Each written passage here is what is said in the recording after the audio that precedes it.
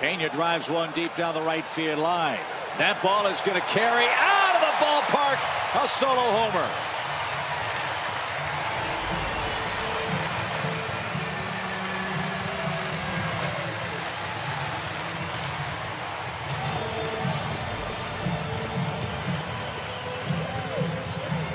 There was a line in a movie. Remember American Graffiti?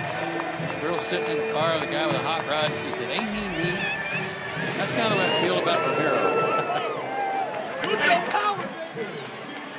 They tried to really run the ball in on him. They, the target set up inside field, and Colbert couldn't even see the inside corner.